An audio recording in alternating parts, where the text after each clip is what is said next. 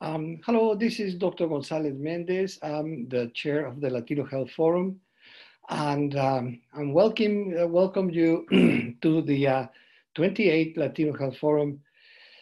This time uh, we're doing it through Zoom uh, electronically because um, the pandemic that is affecting us, um, and we hope uh, next year it will be different. Um, just uh, we talk a little bit about co covering your face is so important um, because I'm by myself, I can remove my mask, but um, uh, remember, uh, regardless what some people are saying, uh, this is the best um, way to protect yourself and protect others. Um, so yes, wash your hands, uh, all the things that you've been listening, but the mask is important. And um, there are many uh, kinds. I prefer this that is uh, I can wash and and change the filter because with these other ones that are disposable, we are filling the, the planet of plastic.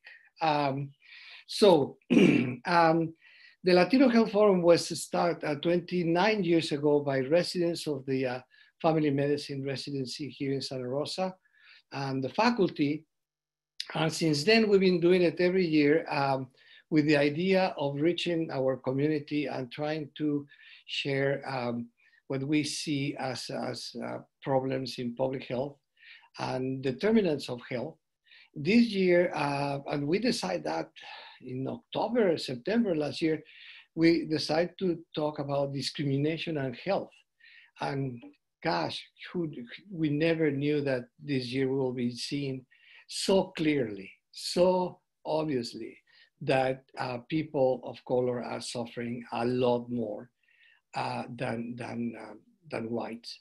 Um, and well, today we have a, a, champion that we really appreciate. She's helping us, uh, Dr. Kitamura, that Diann Kitamura, that is, uh, uh, when I, when I read her bio, I really became emotional because she is a witness and a victim of direct victim of uh, discrimination because the way she looks and, and uh, uh, her family and, and her name. Okay, uh, Dr. Kitamura has served as a superintendent of uh, Santa Rosa uh, City Schools district since February 2016. She has worked in public health for 37 years. So her life dedicated to teaching that I appreciate deeply.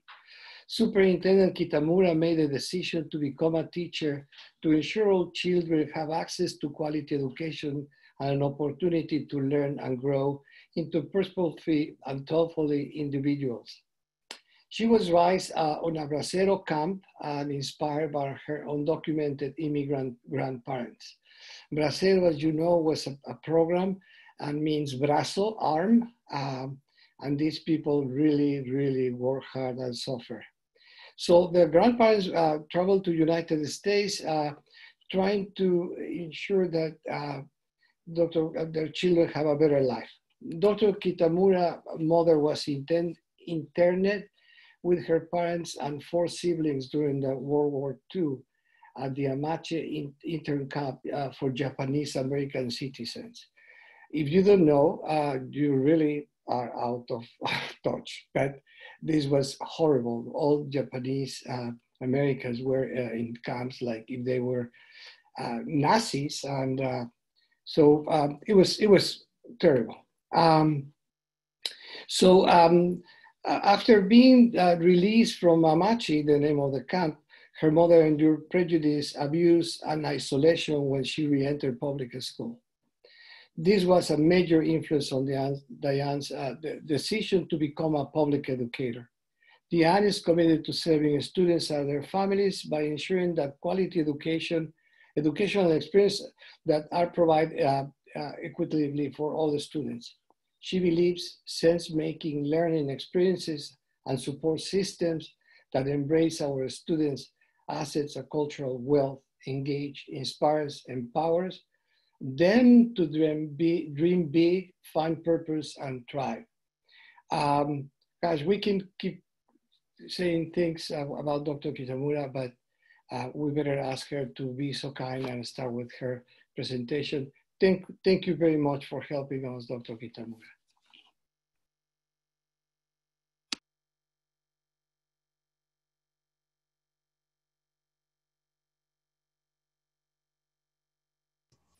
Thank you so much, Dr. Gonzalez. Uh, I very much appreciate being asked uh, to present today. Actually, um, I feel honored that a community uh, such as yours would be welcoming me and asking me to present today. Um, you know, when I was asked uh, about this and, and wanting to talk and asked to talk about the disparities uh, as it relates to uh, COVID 19 and beyond, it's it's difficult. I, I can't help but think about not only the disparities that have occurred as a result of COVID 19, but what has gone on um, in the past. And really, since I got here in 2013 14. So, I'm going to talk a little bit about both. I'm going to be going, you know, talking about the present, what's happening with um, COVID 19, and the other crises that have happened in Santa Rosa City Schools and Sonoma County. Um, and then also talking a little bit about um, data that is on a broader spectrum, a broader scale, um, and then try to tie it all up together to uh, talk about what what can we do. So uh, just as I would be teaching, I would also want us to um, have some of like a call to action or a, um, ideas about how we uh, put into action the ideas that I'm here to uh, bring forward and talk with you about. And hopefully uh, you'll have questions and, and that we can um, talk about and discuss as well. So let's get started.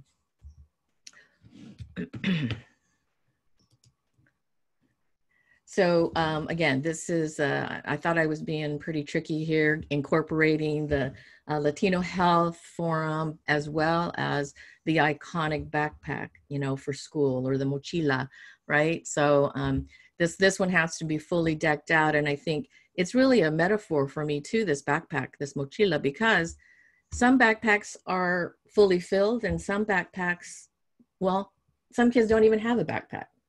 And so down to the basics of just that idea alone um, spurs on the, the talk that we're gonna have today, the discussion, the, the question and answers. So, so remember that yellow backpack and how full is that backpack? Is there even a backpack as we talk about our students? Um, a little bit about Santa Rosa City Schools. So we have just shy of 16,000 students. Uh, we have 24 schools, elementary, middle, and high schools. We are actually an elementary district and a high school district, two separate districts, but under one umbrella or one governance team. We employ 1,600 people. We're one of the top five employers in the um, county. Our free and reduced meals, um, we is at about 51%. So that means 51% of our students get some sort of free or reduced meal. We are 55% Latinx, and English learners comprise about 20% of our population. There, uh, Spanish is the most primary language. However, there are about 45 different languages spoken in Santa Rosa City schools.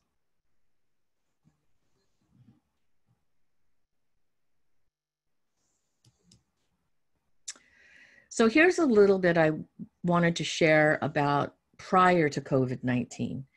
Um, because not only is there an impact from COVID 19, but I want us to go back to October of 2017. There's also impact back to the Tubbs fires where we um, closed school for 15 days. There are there was the Camp Fire and the smoke that came into uh, the Bay Area where we closed schools for two days. And then we had the PG&E power shutoffs, and that closed school for four days. And then we had the Kincade fires, which closed school for five days. So you can see prior to prior to COVID, we were already in this um, n- number of days, numerous days, where kids were missing school.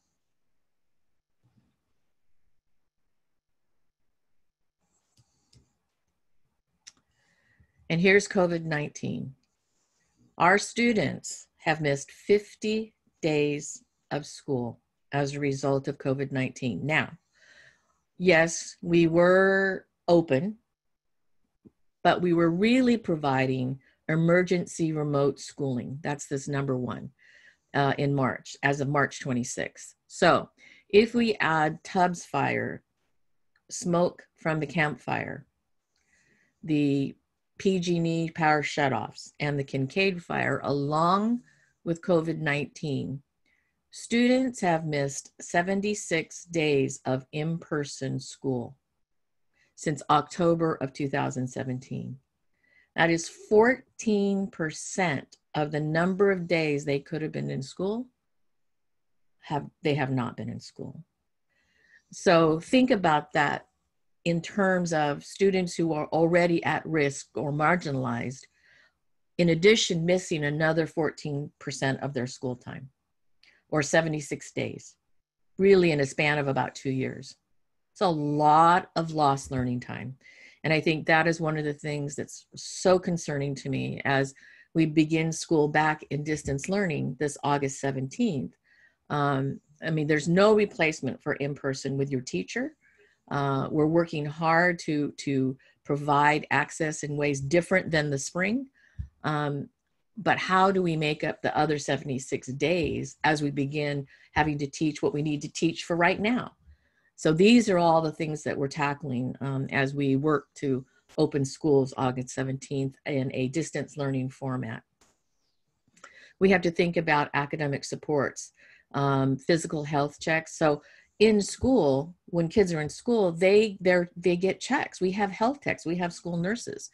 There is vision screenings, dental screening, mental health screenings. If a if kids aren't in school, first of all, how do we see that there's those needs? Um, number two, how are they going to receive those services? Those are all grave concerns for us in the school district. And today's uh, presentation is really to open this up to the community to say, hey, what are we going to do if kids can't access this at school? Where are they going to access the checks, the, the screenings, and then the follow up services? Um, meals. You know, you're going to see in a later slide the number of meals that we've provided and the food insecurity. I think you have a presentation tomorrow about food insecurity and what's going on. Our English learners and special education students, our most vulnerable population, one of our most vulnerable populations. Services for students, um, English learners and special education, need to be far beyond what is normally provided. Um, and so our, our question, our challenge, our opportunity is how do we provide those services? And then amongst all of this, all of the Tubbs fire, the Kincade, and now COVID, what we're experiencing is families struggling with income, with shelter, and overall family health needs. Um, this is quite concerning. Since the Tubbs fire, Santa Rosa City Schools has lost about 500 students as we since the Tubbs fire. So going into COVID, we're not quite sure yet um, what students are going to show up in, even though distance learning, because of these these uh, challenges that families are facing, where they may have to go live with other families, or they may have to leave the area because it's less expensive to live. So that is a students not in school is a community um, challenge in that if students aren't in school, that means parents aren't here. What does that do to the economic structure of Sonoma County? Right? So it's all intertwined. If there anything, if there's any message that I can uh, continue to share, that is the the interconnectedness of schools with the entire community, with the work community. Um, it's very critical, and so I think ha- having you have me here today uh, is a great idea because I want to share about that, that we're interconnected. We cannot do this alone. What you see here, it really has to be all of us together um, providing these supports, these wraparounds for uh, our students.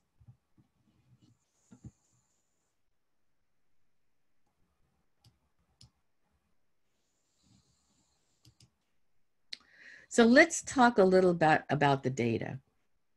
I'm gonna I'm gonna dive in. I'm gonna talk about some elementary school data, and then I'm gonna talk about some secondary or high school data. With the elementary schools, I'm gonna talk about attendance data. Um, chronic absenteeism. That is if a student misses 10% of the school year, 10% of the school year. And so uh, that would equate to 18 days of school. What I want you to look at are the differences. If you see the yellow arrows and the green arrow, and this is where we begin to see disparities. There's disparities throughout the system, but I wanted to give you some hard fact, fast data that can you can just look at and see. And if you look at Santa Rosa City Schools and take Highway 101 right down the middle, you have what we call in the district the east side and the west side. Okay. So Abraham Lincoln and um, Brook Hill, you see Brook Hill at 19.4%, um, are in town and to the west. And so that is also predominantly where our Latin, Latinx, Latino communities reside. Um, so if we looked at population, so the numbers are high. The chronic absenteeism, the um, the state average is 12.4%. So you can see with Abraham Lincoln, Biella, Brook Hill, we are well beyond that 12%. Okay. But let's take a look at Hidden Valley. Hidden Valley would be a school considered on the east. They have an 11.79% chronic absenteeism rate. Okay. So compare east side 11.79, city and west side 19 to 15% chronic absenteeism. What's going on there? that, that's the question that we begin to ask what's happening so we'll talk about that a little bit more the other one the other medical absences so of this chronic absenteeism of of that uh, portion of being absent i also interestingly found that 4.9% are due to a medical reason okay let's compare that then to hidden valley again the medical reasons are 2.6%. What is the difference? What is causing this difference? What, what gaps are there and how do we fill those gaps? Okay. Here is the green arrow demonstrates an anomaly. James Monroe Elementary is more on the west side. But look at 7.92 chronic absenteeism, 2.3% medical absences. So the question is and the discovery for us as a district what is James Monroe Elementary doing, the staff, the principal, so that chronic absenteeism is much lower, as well as the medical absences.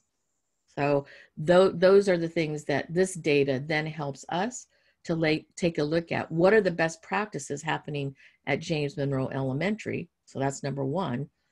Number two, what support services are we not providing for Abraham Lincoln or Brook Hill Elementary? You know, what's happening there? Is it parent education? You know, is it enough screening, medical and health screenings? So um, the data doesn't answer questions. The data raises more questions for us, which is a good thing um, in order to eliminate this disparity that you could see, you can see. Let's go to the next slide. Now we're going to look at um, secondary. This is the latest data we have from 2018-19. And some of the same attendance issues carry on up through high school. Those that are most chron- have most chronic absenteeism are also going to be most likely not to graduate. Um, and I go back to, let me go back to this slide that I forgot to say when I, I that I pulled up my notes. On this chronic absenteeism, one of the top five issues creating absences due to medical issues and just chronic absenteeism in chronic absenteeism in general are uh, asthma and dental health. Asthma and dental health. So again, if we look at those, one of the top five indicator, one of the top five uh, health issues affecting, then for us as a district, we're going to focus on do we have enough dental screenings, number one, and the um, asthma, checking to see how many of our children have been identified with asthma and do they have the inhaler at school? Do they have the proper medical care? So um, again, I forgot to say that before, so I wanted to come back and address that fact, especially because I think there's a lot of medical providers dental providers in the audience, I hope, that can um, work together with us on, on these various types of supports that we can provide to close that disparity and, and most important, reduce all of these chronic absenteeism numbers. Um, the, the likelihood of chronic absenteeism in kindergarten and first grade at these levels will mean at third grade, students will not be on grade level. And once you're not at grade level in reading at the third grade, it becomes a greater challenge that leads to more dropouts later on. And so um, I don't know if any of your other speakers or any speakers ahead of me or, or after me are going to talk about, you know, preventing students from the um, preventing students from dropping out. Well, really, it can begin in kindergarten and first grade here.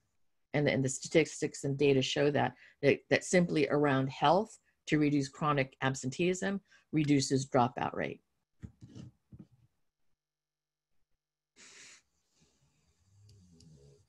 Okay, back to this. Four-year cohort graduation rates. I think the numbers can demonstrate that Latino students, 78.3% compared to white students at 85, compared to all students at 81. Disparity right there. In terms of the county, we are lower than the county overall. And then let's take a look at compared to the state. In the state, 82.1% of Latino students graduate um, in comparison to all students at 84.5%. Um, I'll talk a little bit more about that as I move through the slides. Let's also look at overall graduation rates by high schools. Now, some of you are saying, oh my gosh, or some people would say, why would you ever show that data? Because it is what it is, right? If you're going to fix problems, you're going to change the way things are, you got to address what the problems are and you got to be upfront about it. Okay, here I'm getting kind of excited now, so let me let me slow down. My translator is probably cursing at me right now. Tell me if I need to slow down. But again, I want you to see Pioneer High School. Pioneer High School is on the west side. And look at their numbers in the last year, 2018 19. So, what's Pioneer High School doing, right? With it with a uh, Latino population that is well over 50%. You know, their graduation rates are chugging along, moving right up. Okay. The thing that you have to remember too is that on my next slide, as a part of a policy change, we have implemented uh, A through G as a graduation requirement this last year.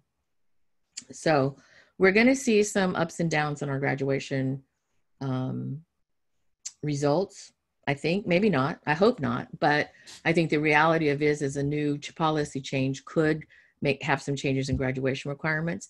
But even with that change, we have to take the risk to change our graduation requirements because look at our A through G university entrance percentages. Um, so this means uh, these are the students who, the percentage of students who completed A through G requirements to apply to the university or state college. SRCS in 2017, 15.8%. No bueno. I, I can't I can't deal. And so um, our board and um, our teachers and our administrators, um, we've come together and have made these changes so that the requirements are the default curriculum. It's the default classes. Um, because when I entered into Santa Rosa High School, Santa Rosa City Schools, um, we basically had a tracking system for kids. Um, and kids were tracked into different areas. And if you looked at the data, of those tracks, whether it was, you know, vocational or, um, you know, whatever it was, um, the high percentage of uh, students in courses not headed to college were Latino.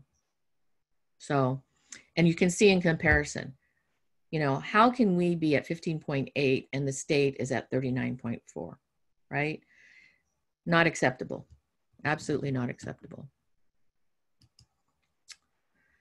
So Jose Ferreira has this quote Data adds concrete information to a teacher's, and insert whoever you are, whatever your position, position is, observations and intuition, but it will never replace experience personal relationship, and cultural understanding.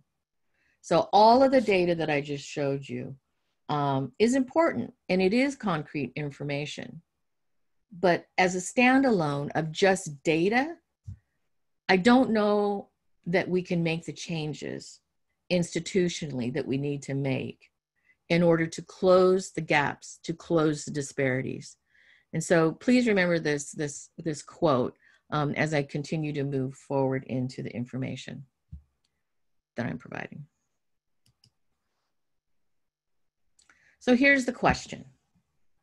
How can we change social and economic structures that perpetuate the patterns of disparity in the data and our communities? That is the question. It can be asked in many different ways, but that is the question. And I would say that it's really wrapped around disru- disrupting the structures. Okay? Disrupting the structures. So, what does that mean to disrupt structures? Well, first and foremost, I'm going to tell you it doesn't mean it has to be demeaning. So, if you look on the side, I wrote disrupting doesn't have to be demeaning. Okay. In other words, um, I, I feel that in my position as superintendent, and I came into the district as an assistant superintendent in 2013 14, I think you maybe can tell by my personality I'm kind of nice, you know. I'm not, I I'm I'm kind of nice. But don't be fooled by my kindness because of my actual strength to disrupt. And I'm going to talk and show you a little bit more about that. And when I say I, I also want you all to know it isn't about just me. There's a whole group of people um, that I have built authentic relationships with in the school district and outside of the school district to do the work that we're doing. Um, it, it, it is so important, especially in times of crisis, that you have the ability to call on people in your local community, in your workplace, but also outside. Um, I think some of the ways in which we've been able to really move through the district move through these crises and support families and do the things we need to do is because of the relationships that I have been able to forge with people all over the county and especially of the other policymakers. Um, I think that's another piece of this puzzle is that um, in order for us to do collective advocacy, which is the next item, and, and really elicit policy change, um, it's going to take a group. It's, can't, it, it's not just me alone.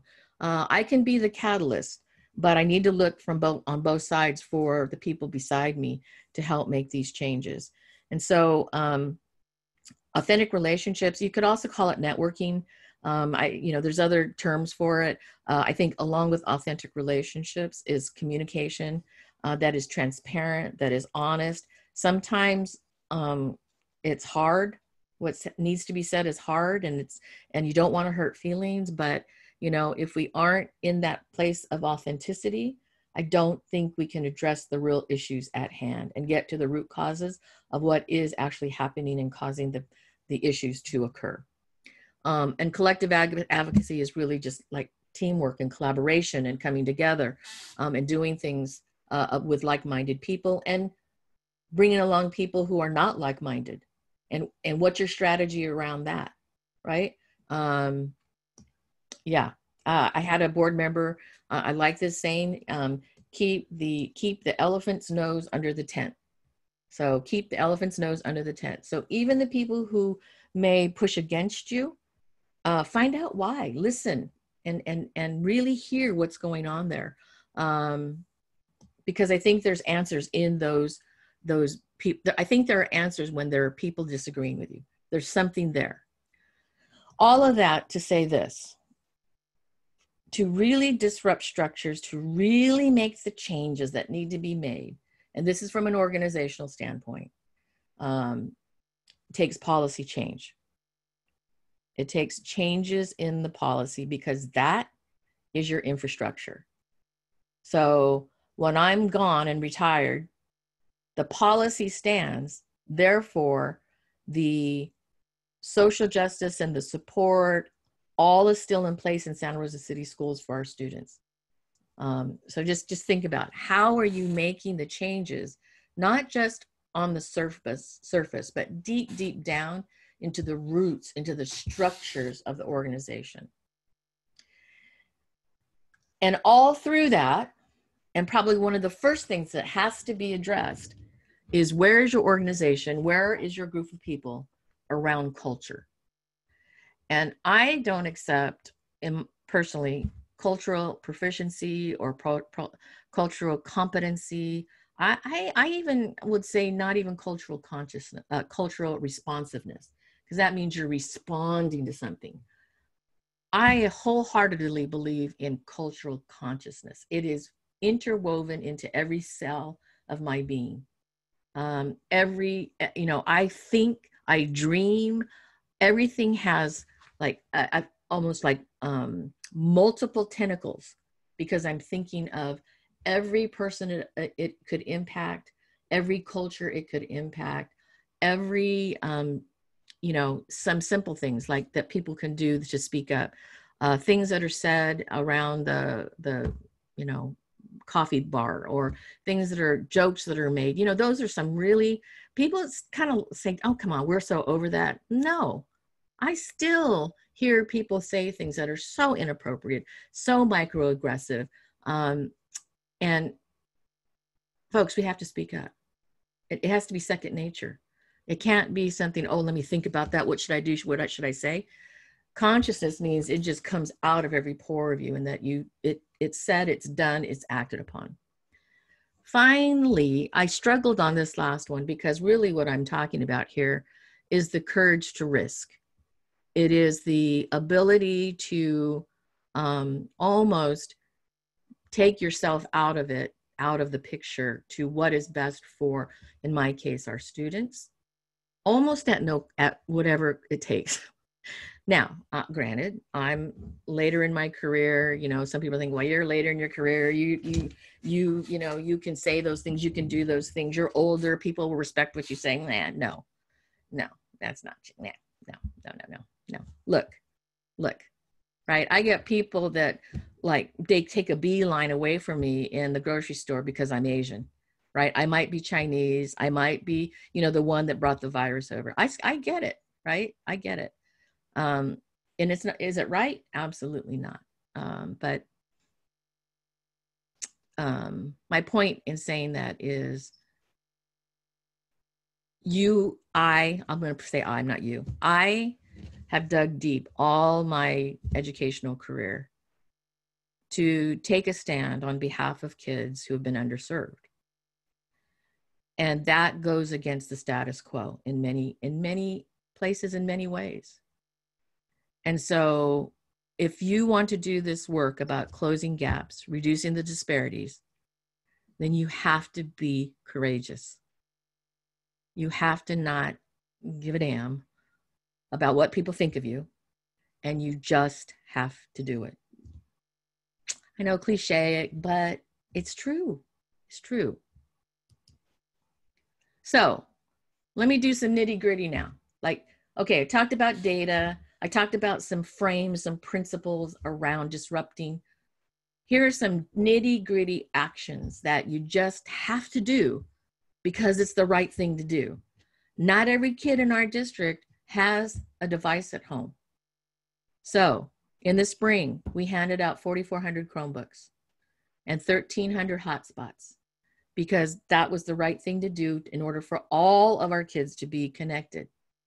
And this fall, we're doing one to one 16,000 students, one to one devices that will go home, and hotspots or access to internet. What would, because sometimes it can't be a hotspot, but whatever it is to get them access to internet.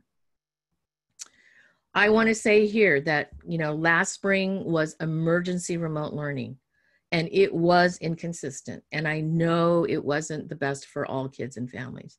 Um, we mailed over 5000 packets home um, big like pallets pallets of packets.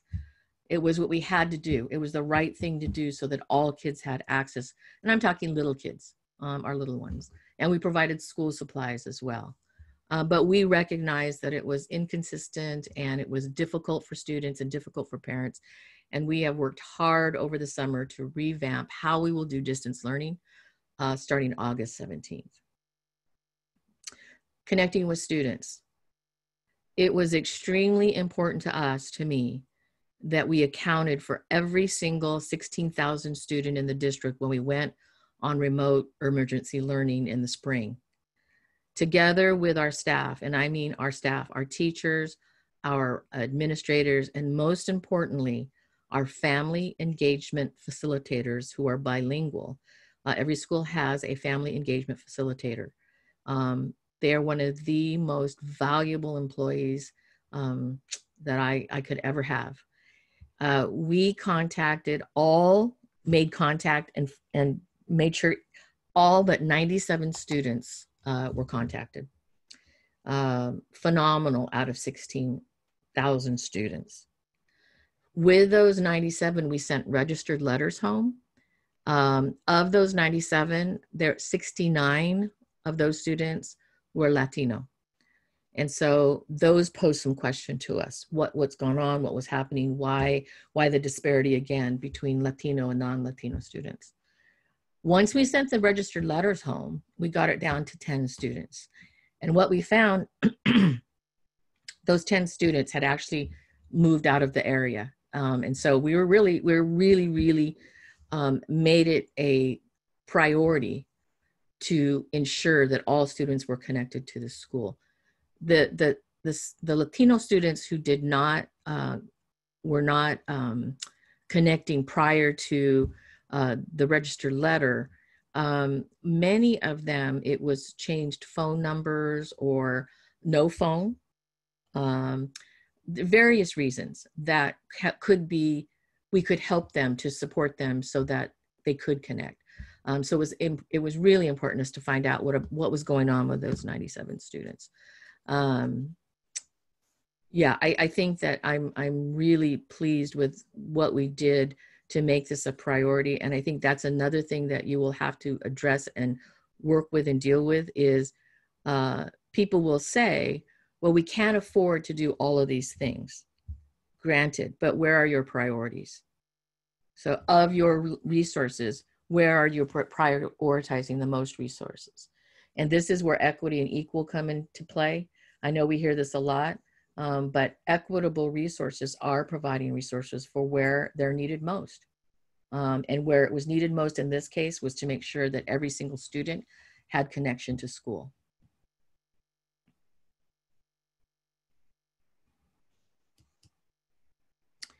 I said I'd talk about meals. Since March 26th, Santa Rosa City Schools provided 620,000 meals. And I will tell you, I went out to the to the distribution sometimes, and uh, we did not turn away students from other school districts. Uh, we really there was no ID. I did no IDs were shown. Um, if parents came but they couldn't bring their kids, we gave them the meals anyway. The rules were you had the kid had to be there in order to give out the meals. I just told staff, feed families. Just feed them. We'll worry about how we pay for all this later um, because it's a priority. It's a priority. We partnered with Redwood uh, Empire Food Bank to have uh, the food pantries at all of our uh, food distributions. Right now, we're continuing to feed families um, up until August 14th. Uh, what we do need to do is is and i've been asking and everywhere i go is please encourage families to fill out the meal applications because after august 14th the federal government is saying we cannot just give meals out there will be no reimbursement unless there's identification and the student is there to receive it so receive the meals and so we do not want to turn away any kids um, i will find other ways in which to feed kids if that is the case but for the sake of families, please spread the word, fill out the app- meal application. It's on our website, and I have my website, our website at the end of the presentation. Another action that we took was our integrated wellness center. And so we received funds from Kaiser, Comcast, and North Bay Fire Relief. We have our own integrated wellness center at where the old Lewis Adult Education School is on Lomitas. We have a warm line that's available so we can provide uh, appointments. It's free. This is a free service. Um, in addition, we'll do we'll do times where we'll do vaccine um, flu shots. We'll do uh, screenings. We'll do other things as well. Um, and so, and we love volunteers to come in and help, especially on the medical side. Um, and so, this was another action that we felt was extremely important, and we'd love to replicate this, uh, not just at Lewis, but at various locations throughout the district.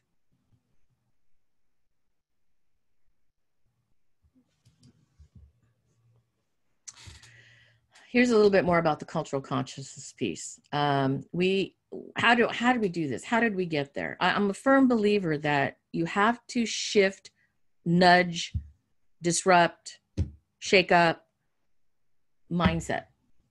And the one of the reason one of the ways in which I have uh, worked on this over my 37 38 years is training so we sent to Los Angeles 700 staff to the Museum of Tolerance, and every year we still send 40 to 50 staff each year, um, just so we can keep the training going.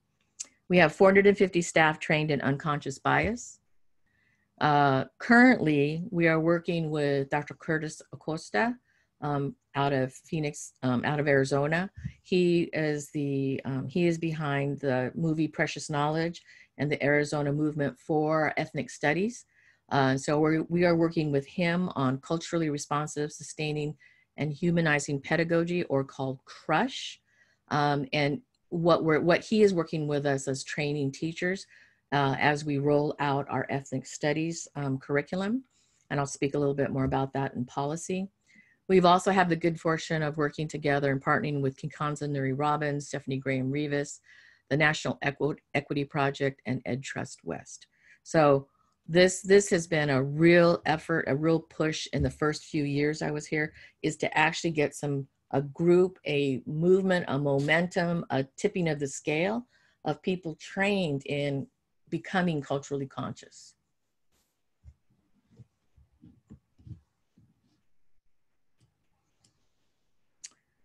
So I don't normally have a lot of writing on my PowerPoints, but policies to me are so important because it's the long lasting institutionalized change that we all must seek in our separate organizations that I did it anyway. So, uh, but I won't read it verbatim, I promise. But here, here's what you need to know. When I came in in 2013 14, there were some things that were happening in this district based on a policy level that I could not believe was happening. I, I, I was floored. And so one of them was this you had to choose between a CTA, CTE pathway or vocational pathway and a university pathway. So in my book, because I'm a former CTE teacher, those two things aren't separate. They can be combined together. You can go take CTE classes and go to college. You can, I mean, there's there's no need to separate. But what was happening is special education and Latino students were shifted to CTE, while other students were shifted to um, college prep. Segregation. Holy cow. 2014, I've come into a district. What is going on? Another thing that I found students who were suspended, and at this time we had one of the highest suspension rates, primarily Latino, that we were called out by then um, Attorney General Kamala Harris. Okay. Uh, we were suspending students for five days. They would also be removed from their extracurricular activity for 25 days. Double jeopardy. Imagine students come to school because of sports, because of music, because of all the other things, and they, not necessarily for math and science and English and social studies. So that was removed. Okay, this next one, I tell you what, I could not believe it. So students who did not earn the appropriate number of credits to move to uh, sophomore, junior, senior. So let's say they earned uh, so freshman credits. They stayed at, they were labeled a freshman forever until they moved up credits. So you could be an 18 year old freshman uh, because you hadn't earned the credits in your school. And imagine the, how demeaning that was. Imagine what kids felt like um, because they didn't move along with their class. And predominantly those who didn't move forward were students of color. Okay. This was also, I hate to say this, but I'm going to say it. This was a way for the district to keep students from taking the California high school exit exam because you needed to be a 10th grader. But it prevented that from happening so that our, not mine, that, that back at that time, the high school exit exam results looked much better because only certain students were taking the high school exit exam. Gone. That was that psh, gone. Uh, if you received an F for missing 20 or more days, you automatically got that F. That's illegal. You can't do that. So that was removed. Um, then we talked, we did, uh, we approved standards. Whoops, sorry. We did standards. Whoops. Uh, Common Core standards. Um, we went to the A through G. This was huge, the A through G graduation requirement, uh, like I talked about before. We amended the inter-district, this seems silly, but we amended the inter-district policy to keep school kids in their neighborhood schools. So preventing them from going from west to east, stay in your neighborhood schools so we could build up those schools. We adopted an English learner master plan, um, hugely important since we have 20% of our students English learners. We also had uh, approved an advanced learner plan that was more equitable uh, for students of color and students in general. To encourage board members to run for board, the board uh, waived the $1,200 approximate um, cost to run to run for board members. sorry, that was my timer. I didn't mean that for that to go off. Um, we, just as uh, President Trump was elected and going to be inaugurated, it was very important for uh, us to bring forward a resolution to become a safe haven district before he took office. We did a, we moved from at general elections to seven trustee areas. And if you seen, if you can see our board now, which I think probably many of you have, it is one of the most diverse, diverse elected bodies in Sonoma County, and I would say uh, in California. You know, these are just some little things but mean a lot. The ability to wear tribal traditional regalia at graduation, the ability to not be color specific on graduation gowns. Um, they seem little, but they're huge to kids. They're huge to families. Um, we created a new strategic plan. And as I said earlier, we have ethnic studies as a curriculum approved by the board. I'm so excited about that. And yes, you see that K 12. Um, and on top of that, the board approved uh, ethnic studies as a graduation requirement. So this is a span of 2014 to 2020, as I said earlier, about policy has to be the center of structural change. Um, and I wanted to show proof of what we have done in Santa Rosa City Schools. Uh, finally, uh, what I said in there was about our mission and vision. And I tell you, I cannot be more fulfilled as a superintendent, as an educator, as a human being, as a Japanese American woman, to have a board of trustees work together with me, along with me, to create this vision and mission statement.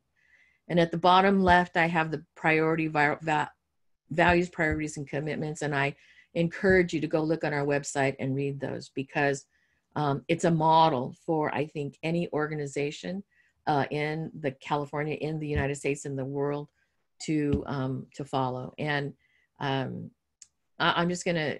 I, I don't. I, I want to read it. I don't want to read it, but I am going to read the mission statement, and that is SRCS ensures equitable access to a transformative educational experience grounded in the assets of our students, staff, and community. We nurture the whole student in an engaging, challenging, and safe environment. We recognize and value each student's individuality and our community's cultural wealth. And with that, I thank you and appreciate you listening to me today. Um, I hope I was able to share with you some uh, information and some strategies and some of the ways in which we have uh, made the changes we've made in Santa Rosa City Schools. This is my information. This is the website where you can go see more information. Um, the phone number is my district office phone number. The cell phone number is my cell phone number. And here's my email address. And with that, I turn it back over to the panel.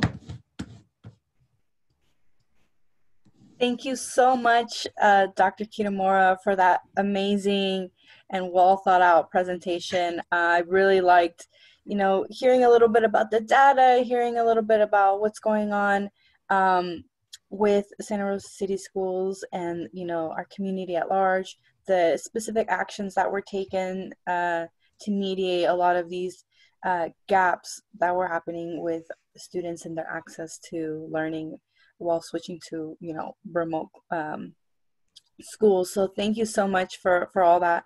We will now be opening it up for uh, question and answer. So for folks who want to ask questions, please go ahead and uh, drop them in the Q and A uh, section at the bottom, and you can also try to uh, use the raise hand option if you want to ask your question uh, live, and we can do that as well. If not, if you're a little uh, nervous, we can uh, ask it for you in the Q&A section.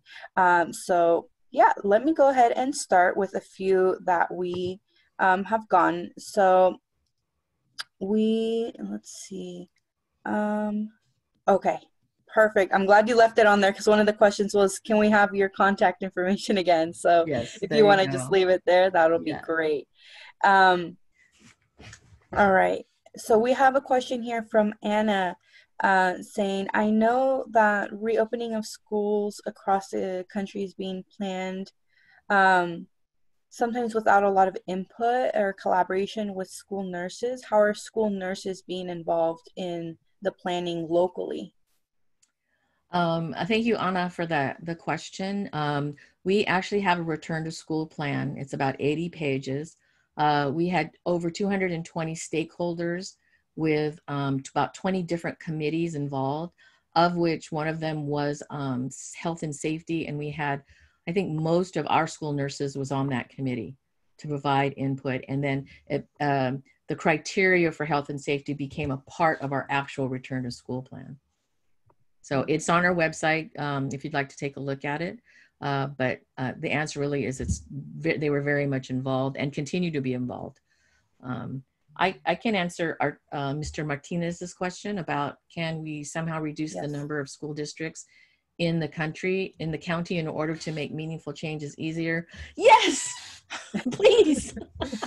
Although my colleagues are probably watching, sorry, colleagues, but um, it's very difficult because we have eight, just Santa Rosa City Schools alone, we have eight feeder districts into us. So K6 schools that come into our school. And um, it, it's difficult. the articulation um, it, it's difficult to um, it's difficult, and I think there would be continuity if we could uh, bring together some of the smaller districts with some of the bigger districts. So, yeah, perfect.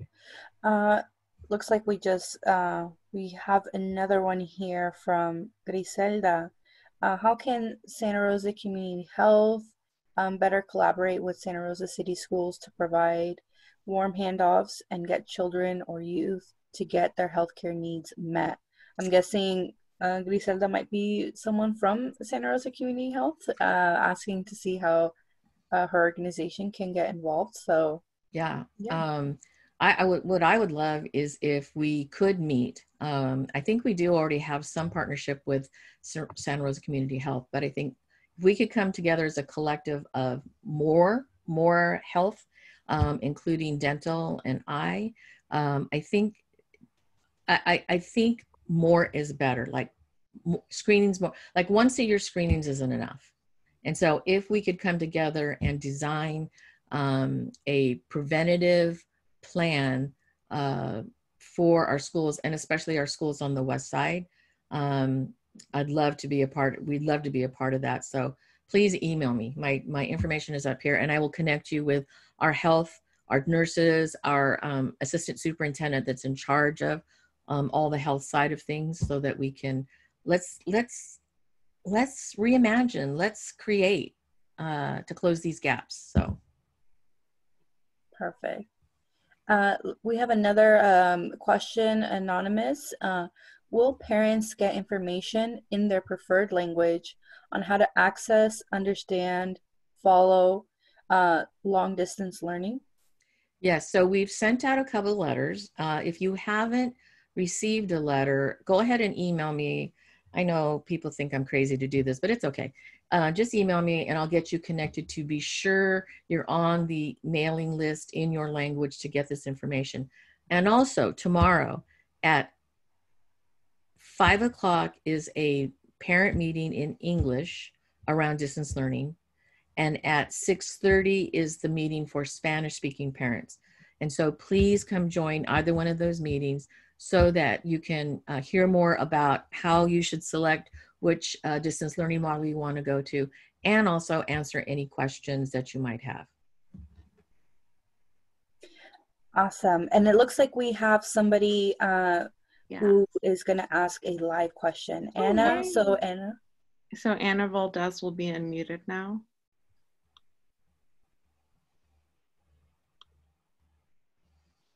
saw that I could raise my hand and I, I don't want to take up too much time because I've already asked one question. It's okay. Um, but this is more personal. So my granddaughter goes to school in Windsor and she is Latina.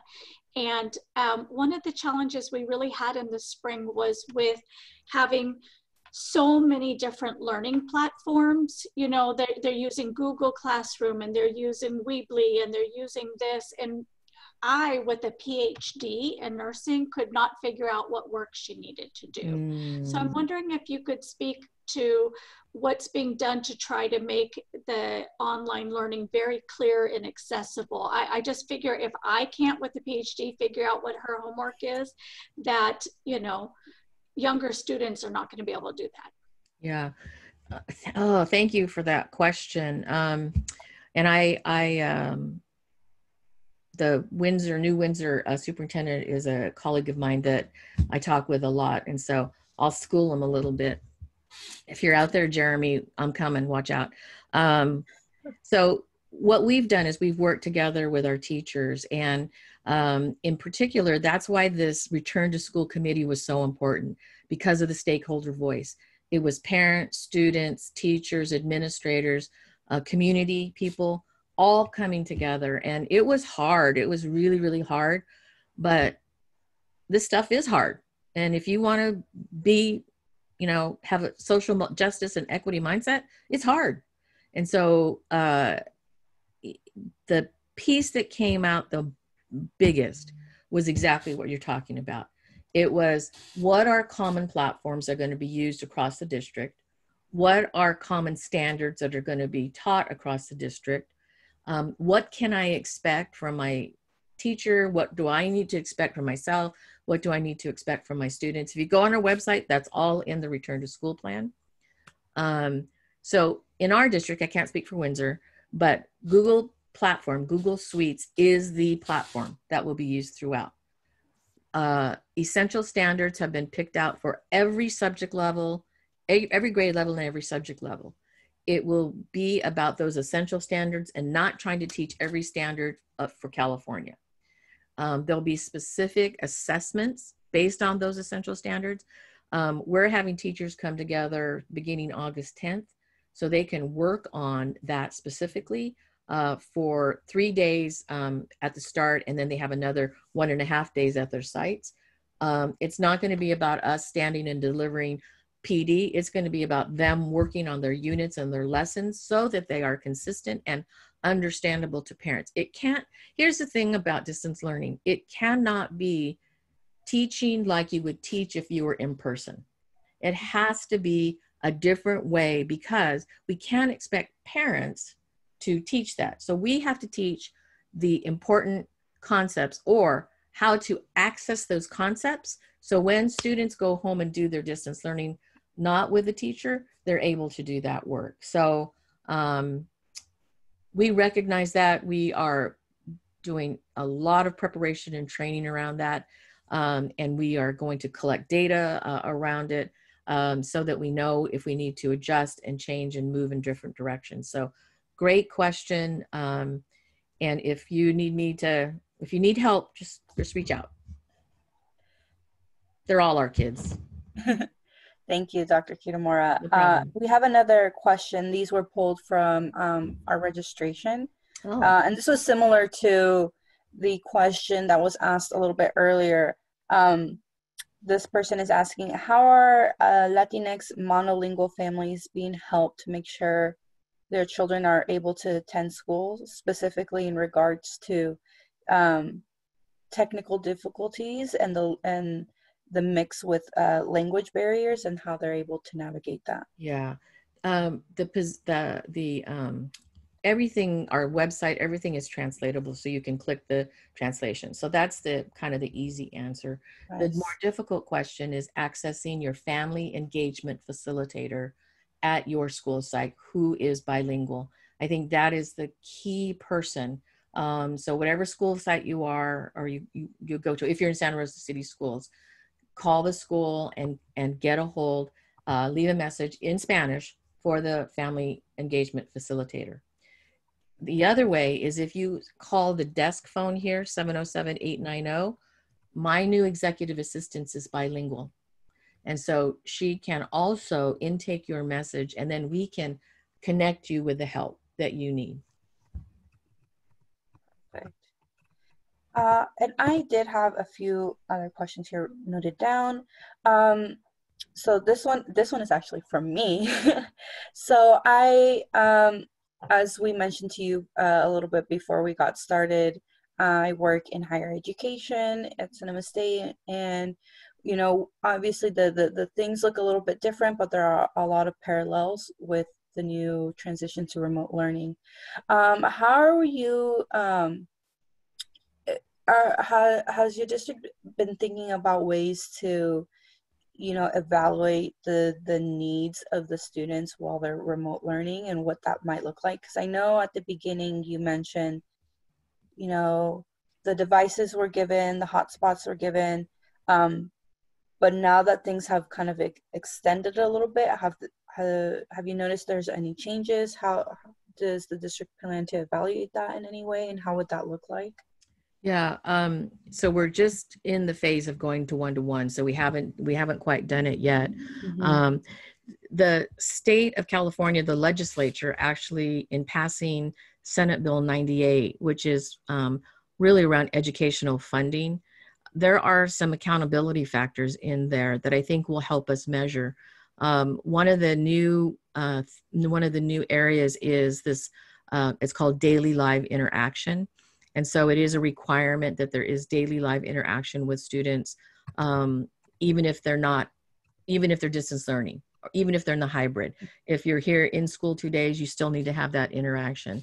Um, also around coursework and coursework being turned in, I think those are all ways to measure, first of all, engagement, uh, and then secondarily, how they're doing in the actual coursework. Um, so that'll be our, our mode um, of evaluation. Think that, excuse me, the other is attendance. I- Yeah. If kids are showing up is going to be an indicator. Um, if they aren't showing up, then I'm going to send that group of people out again to do that intense contact, um, which is also data around how kids are doing, what's going on that they are maybe not attending.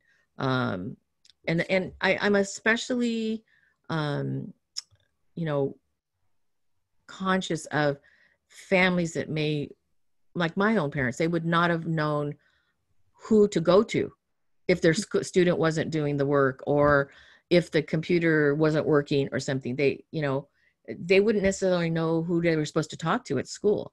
So we have to we have to reach out and do that. We we have to go and and find out what's happening if we see a student not connected. So um both virtually and you know both by computer and by you know just their their um, engagement as a student so that that's that's going to be our our way of evaluating basically on a daily basis i'm sure i'll be looking at data every day just to see where kids are what's going on are they are they there um, so great great question um, Mhm. there's a wonderful comment in the um, chat from Itzel Gutierrez um, from the Redwood Food Bank. Uh, thank you for putting this up on here. Um, it's uh, the federal meal, meal waivers to be extended so meals can be distributed without, without a meal app. For meals to continue as they have been this spring and summer, if you haven't already, would you join us in speaking up at our at our representatives and the USDA? So we really need to push hard so that we get these meals for free. Um, so whoever you can advocate to, please do uh, at the federal level. Um, I know we are we are doing that uh, as well. That it's very worrisome to me that if the federal government does cut off the ability to feed kids without some sort of a, you know, documentation or whatever it is they're going to ask for, um, that's a worry for the community. If you can, you can see we gave out 621,000 meals. You know what's going to happen. Um, some of those will be covered by free and reduced meal apps. If you look at our data, it's 51%. So what happens to the other 300,000 meals? We, we, we've got to, yeah, got to be on top of that. Yeah, um, definitely. Uh, we have, uh, I think we'll uh, go with these two, last two questions. So uh, we have um, Cristina Palacios. How Hi, are Cristina Palacios, how are you? so, how so are students who depend on sports for their PE credits going to be helped to achieve their credits to be able to graduate? How are athletic students who were hoping to get scouted or who focused on sports for college university going to be helped? So um, you, if you're in distance learning, distance learning hybrid, well, even if you're in learning house in our district, you're still going to have PE. Um, if it's if it's around the sports, uh, sports right now are all moved to the spring, and so we're going to just pray and hope that sports will be all sports. So even the fall sports have been moved to begin practice on December 14th. So let's wait and see, Christina, how that goes. If the sports aren't being allowed, then we're going to need to do waivers. So please don't worry about that. We would do a waiver for the PE under the circumstances of the sport not being um, allowed to uh, participate because allowed to be um, done because of the um, pandemic. So don't worry about that. And then and then the scouting. Um, yeah, again, we wait till the spring sports for the scouts to be able to take a look. Here's the thing everybody's in the same boat. So they can't scout anybody differently than any of you because there's no sports going on in the fall. Okay. So, and then also if you have um, tape from previous um, matches and previous sports, uh, get those tapes together from prior to this year if you have them. Mm-hmm. And then um, there's another one. Has a school system been in contact with the Sonoma County Library System regarding the regarding reopening to some extent, or to even have extended curbside pickup hours in the evening for working parents? I find it confusing that restaurants and wineries are open, but access to library materials resources is still incredibly, incredibly limited. That is a great idea uh, that we will talk about to our library county library connections, everybody, every student in our district has a library card. So um, I think that uh, that is an awesome idea about the curbside. Um, I have, I am even exploring because we have school buses and the school bus people are going to kill me, but oh well, uh, that because our school buses aren't being used because we're in distance learning, why don't we pack stuff into the school buses and take them out to neighborhoods? Whether it's supplies, whether it's books, like you're saying, whether you might need help with something, like socially distance inside the bus and help a kid out. Like if they need some help, why not, right? Right? I, I think it's a great idea. So I'm gonna I'm gonna see. Uh, uh, yeah, I'm gonna push that one a little bit. The buses aren't being used. Santa Rosa City Schools are paying for buses, even though they aren't being used as a part of our our uh, joint powers committee thing, whatever. So let's put them to use by, I think, doing this library stuff. Yeah, good. Thank you, Dr. Kitamura. And no problem. Uh, I actually do have just one last question and sure. then we'll close it up. So um, my question was, how um, are we kind of mediating the, I like you said right now, everyone's kind of in the same boat, but I know a lot of folks right now like this was maybe the year that they're really going in for um, college applications and and really you know getting everything sorted out so they can you know start college right uh, right after their senior year uh, how do you see any kind of challenges right now that are, that have arisen in, in terms of preparing uh, some of our high school students for college? Um, I know you mentioned A through G a little bit earlier. So, uh, what are those uh, challenges, and uh, what do you think could um, be done to mediate that? Yeah, I think we are so fortunate in Santa Rosa City Schools because we have dedicated um, funding for five college and career counselors specific to supporting students uh, in uh, applying to preparing for college. Um, the San Rosa JCs help always with the financial aid nights. Um, we, we want to continue those. I think that it is difficult in a virtual format um, to do to do some of that. Um, I think if we can socially distance and maybe bring some people in, so that um, it's just not as easy to be able to fill out things on a computer.